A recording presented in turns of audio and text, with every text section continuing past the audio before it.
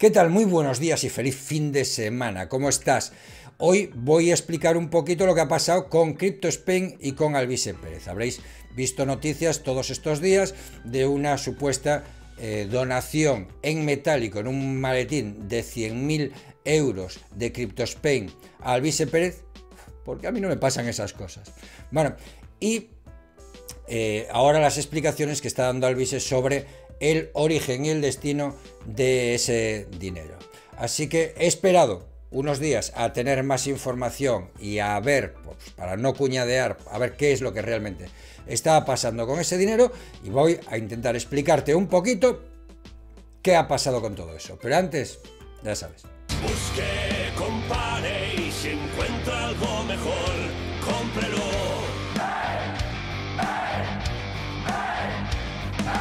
El, ex socio de Alvise, este señor es un tal Crypto Spain. ¿no? Crypto Spain es un tío que se ha dedicado a salir en diferentes canales de YouTube y el tío con una máscara, con una mascarilla pero con que, le cubre bastante, ¿no? Como una especie de máscara. El tío dice que bueno, que empezó así en la pandemia y tal, y después que ya lo, cogió como un personaje y estas cosas. Bueno, se tapa la cara, ¿vale? Por lo que sea. Este señor dice auténticas barbaridades en, su canal, o, en, las entrevistas que le hacían. Como por ejemplo, que podía no pagar, pagar cero impuestos en España un autónomo sin necesidad de más. Y para eso hacía cosas bastante rocambolescas, ¿no? Como por ejemplo que te crearas una sociedad en Estonia, que esa no paga impuestos, y que luego para comprar un piso aquí en España le pidieras un préstamo a esa sociedad de Estonia y no sé qué y tal. Y que luego eh, tú tenías que estar fuera de España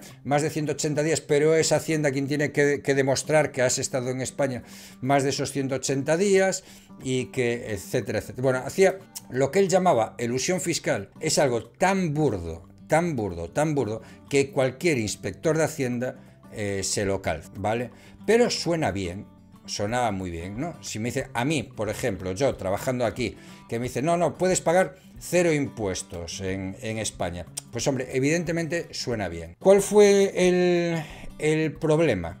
Que además de esto, el tío empezó a hacer otras cosas. Uno, a vender cursos de, de cómo hacer esto, ¿no? Costaban 200 y pico euros para decirte estas barbaridades. Y dos, Luego empezó a captar fondos para hacer inversiones en Madeira Investment, no sé qué, no sé cuántos, ¿vale?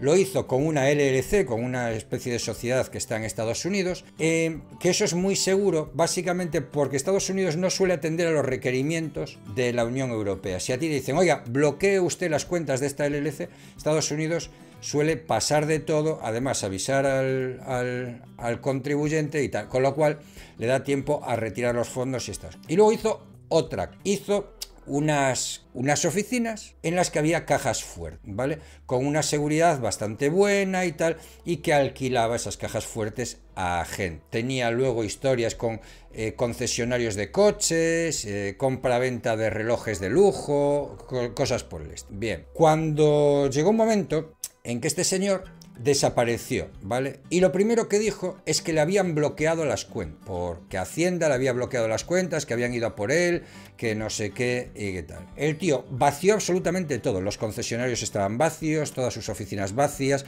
pero vacío, vacío, o sea, no es que dejara por allí, no, cogió en un fin de semana y lo limpió absolutamente todo. Y en Sentinel, en el sitio donde él eh, alquilaba esas cajas fuertes, tampoco hay nadie ya. Y la gente no sabe si van a poder recuperar lo que tenían en esas cajas fuertes o si las ha abierto él y se ha llevado, perdón, y se ha llevado la pasta. Este señor se ha pirado a Dubai con todo el dinero. ¿Y por qué digo que se ha pirado al Dubai con todo el dinero? Porque no es cierto que hubiera ninguna investigación contra él por parte de Hacienda en ese sentido, que le bloqueara las cuentas. Lo que, bueno, pues lo que hizo este señor es cuando llegó a la cifra que él quería, a la cifra que él pretendía llegar para vivir el resto de su vida de maravilla, cerró el Ponzi, cogió, se quedó con todos los fondos y se largó a Dubai. Y ahora que le han pillado, que este señor está jugando con, la fiscalía, que puede llegar a un acuerdo y tal, yo creo que es una forma de ganar tiempo, pues empieza a tirar de la manta. Y una de las que ha dicho es que le dio 100.000 euros a eh, Alvise Pérez, a Salf, a Alvise Pérez, eh, Bueno, a cambio de que él hiciera de lobby en, eh, en Europa y luego cuando se presentaran las elecciones en España para que se legislara en favor de su empresa. De hecho, han salido conversaciones, han salido WhatsApps de Alvise Pérez en la que él le ofrece él le ofrece, oye, mira, que yo puedo eh, hacer que se legisle a tu favor, a favor de tu empresa, no sé qué y tal, y a cambio necesito dinero para la campaña electoral y para eh, pagar multas que tiene que pagar la fiscalía por fin, por querellas, por historias por el estilo. Solo te interrumpo un momento para decirte que desde hoy hasta el día 2 del mes que viene empieza la campaña Look Cool de Procis, que tiene hasta un 30% de descuento en productos seleccionados de la categoría de ropa. Así que ya sabes, utiliza el código LEURO con el código Look Cool y puedes tener hasta un 30% de descuento en toda la ropa de la página web de Procis. ¿Cuál es el problema aquí? aquí hay varios problemas por parte de Alvise. Uno, él ahora ha reconocido cobrar esos 100.000 euros, pero dice que los cobró a cambio de una promoción, de promocionar el Sentinel, de promocionar la empresa de este señor, lo cual no casa mucho con las conversaciones por WhatsApp que ha aportado CryptoSpain. Las conversaciones que ha aportado él dice que no, que esto era como lobby, es decir, era para, para, para, financiar, se acabó la fiesta, lo cual sí sería un delito de financiación irregular. ¿Por qué el tío dice, no, no, fue como autónomo y el dinero era para mí y tal? Porque sabe que el, el, para que sea delito fiscal, la cuota defraudada tiene que ser de más de 120.000 euros por impuesto y año. Es decir, de 100.000 euros el IVA serían 21.000 euros. E incluso el IRPF podrían ser 35.000 euros, ¿vale? Porque imagino que estaría en el 35%. Entonces, ninguno de los dos impuestos llegaría a los 120.000 por impuesto y año. Y entonces no sería delito fiscal. Se haría una complementaria, pagaría una multa y, y ya está. ¿no? Intenta que se lo metan por ahí por Hacienda por un autónomo que no ha pagado sus impuestos. Claro, el problema es ese. El problema es cuando el tío dice, y salen esos WhatsApps de no, no, esto es para el partido, para pagar los mítines, para hacer no sé qué y tal. Bueno, pues este, este es el, problema grave que tiene Alvise Pérez ahora mismo, ¿no? El justificar esos 100.000 euros. Porque además este otro tío es un piernas y cualquier cosa que pueda sacar que desvíe el foco de él, lo va a sacar. De hecho, esto lo ha hecho porque él no era un tío tan famoso. El Crypto Spain no era un tío tan famoso, además ha borrado todas sus redes sociales y tal. Y los que lo entrevistaron también, ¿eh? porque Delos también creo que ha borrado la entrevista, creo, ¿eh? no lo sé. Y en fin, ahora mm, todo el que, el que le aplaudía ahora empieza a alejarse de él. Pero Alvise sí es un personaje muy conocido, muy famoso. Entonces, ahora mismo, ¿de qué estamos hablando? Estamos hablando de Alvise y no estamos hablando del Ponzi que supuestamente ha hecho este señor. Entonces, bueno, pues la estrategia de él es descargar todo esto sobre Alvise y no lo va a dejar descansar. Si, lo hubiera, si esto le hubiera pasado a Pablo Iglesias, no supondría el fin de Pablo Iglesias. ¿Por qué? Porque pues, todos sabemos que a Pablo Iglesias eh, le financiaba eh, la, televisión iraní que había en España, ¿no? Y el tío no le, no le importó el, era obtener dinero de una teocracia islámica machista y, homófoba y estas cosas. Yo te lo decía y lo explicaba que para ser político había que cabalgar contradicciones. Y, si le pillaron con cobrando eh, de Neurona y de Venezuela y de no sé qué tal, tío, cabalgaba contradicciones y ya está. El problema es que Alvise Pérez entró en política para acabar con esto, para decir, no, miren, yo entro en, política para acabar con estas historias, para acabar con las corruptelas, para que haya transparencia. ¿no? Él empezó diciendo que, mira, esto es lo que cobra un eurodiputado, aquí lo tienes, y aquí tienes tal, tal, y, y, al céntimo y tal, ¿no? Y cuando tú haces bandera de la transparencia de tus cuentas, si luego te sale una cuenta en la que te han calzado 100.000 euros en efectivo en un maletín, pues chicos, se carga un poquito tu discurso. Y, eh, pero de todos modos también nos tiene que servir de lección esto, porque tenemos al siguiente, al siguiente...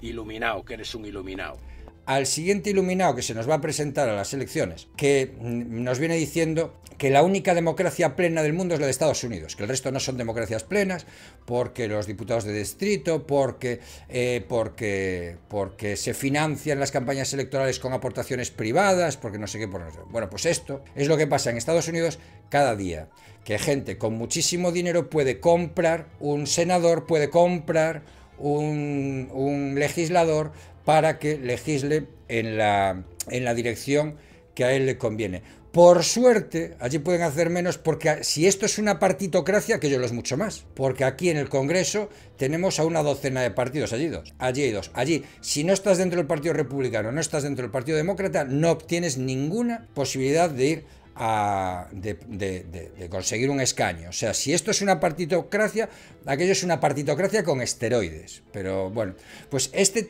este tipo de cosas, lo de financiar partidos políticos con dinero privado y no sé qué y tal, pues es lo que a algunos les parece, les parece correcto. ¿no? A mí de verdad que, que, no, que no lo termino de entender. O sea, que no no lo termino de entender. En fin, que Alvise va a tener un problema con estas historias, va a tener un problema más o menos serio por, por, estos 100.000 y más cosas que van a salir, porque estoy seguro de que van a salir más cosas, y ahora le está encendiendo el ventilador. ¿no? Está diciendo que si eh, Abascal fue a Sentinel tal día, tal hora, no sé qué, que si ahora eh, dice que... ¿Cómo fue? Que, altos cargos del PSOE recibieron sobres en efectivo y que por eso la fiscalía les dejó, le dejó huir a, a CryptoSpain a Dubai, que eso demuestra lo poco que conoces a la fiscalía, amigo. Eso no, por ahí no. Y está, bueno, pues en esto. Como la última vez que, que había amenazado a una juez que si en 24 horas no revertía no sé qué iba a sacar cosas de corrupción sobre ella. En fin, que se le calienta la boca al vise muy a menudo y luego pues bueno, pues pasan, pasan estas cosas. Yo creo que se acabó la fiesta, que después de esto habrá irreductibles, ¿eh? no dudo que no haya irreductibles que no, pero es que hizo bien porque los demás también lo hacen, ya, ya, pero es que los demás no dicen que van a luchar contra eso. O sea, no, su, su, eje de acción no es ese.